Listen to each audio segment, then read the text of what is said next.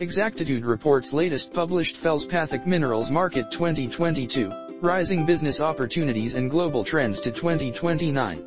Feldspathic minerals are the most common mineral that forms rocks on Earth. They are the most abundant minerals on the planet. They are typically white or very light white in color.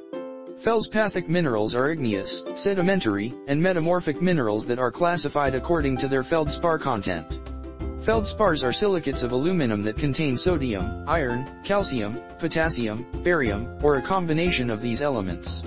The global feldspathic minerals market size is expected to grow at 5.4% CAGR from 2022 to 2029. Few of the important feldspathic minerals market players Asia Mineral Processing Co. Ltd., Azakibazai Holding AS, El Waha Mining and Fertilizers and many others.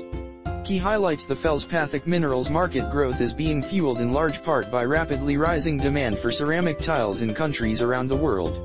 Rising demand for glass and ceramic materials, as well as coatings for welding rods and extenders and fillers in the paint industry, are other key factors driving the feldspar market's growth. Feldspars are a class of rock-forming tectosilicate minerals that account for approximately 41% of the Earth's continental crust by weight.